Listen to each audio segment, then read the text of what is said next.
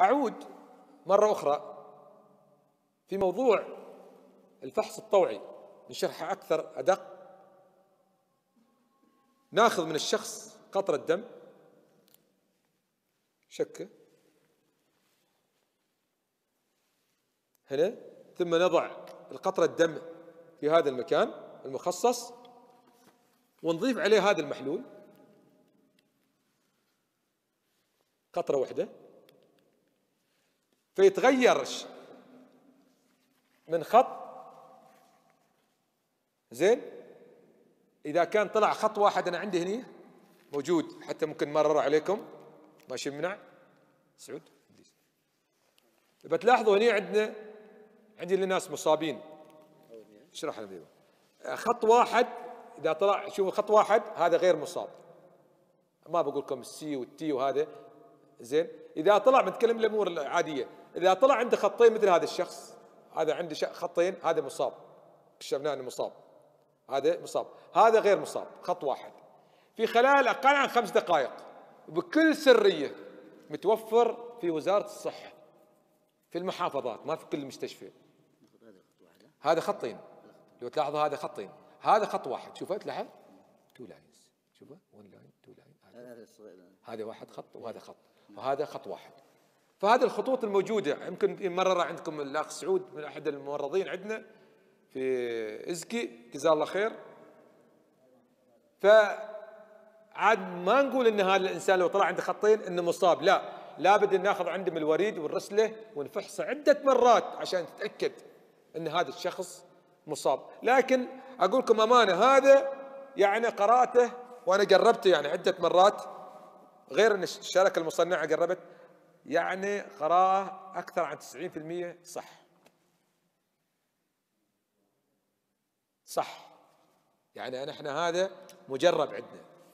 فسهل جدا جدا.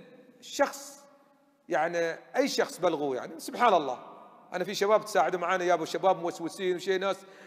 في أنا أذكر أن قصة أن بنت يعني ست سنوات تريد تتزوج لأنها متعلمة.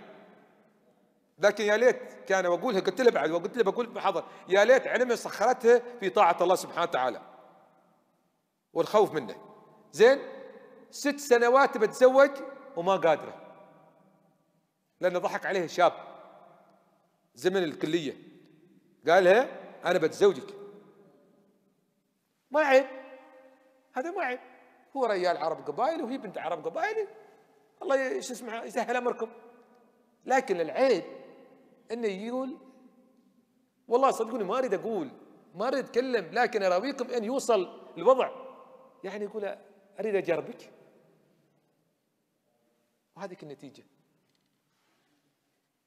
تكتشف انه عنده نفس الموال مع بنات أخرى أخر. يعني هذا هو. فهذا الموضوع يعني اللي شو اسمه اللي يحرق القلب يعني بصراحة أمانة. هي شو سيارة بجربها؟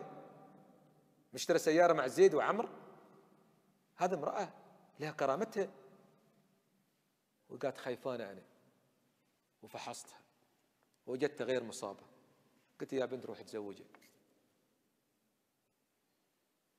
وتوبي إلى الله سبحانه وتعالى. قالت أنا خلاص.